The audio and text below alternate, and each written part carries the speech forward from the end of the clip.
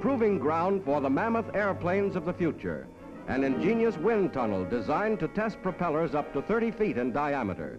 This one is 16 feet 8 inches and is powered by a 2200 horsepower motor.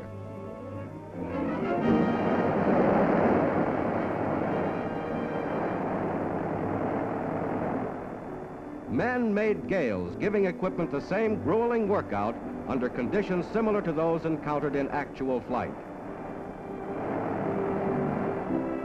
Porous stones for soundproofing.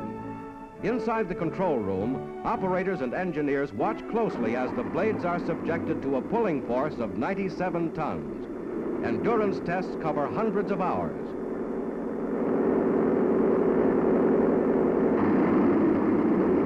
Testing in the dark, they study exhaust flames, blade tips traveling a thousand feet per second.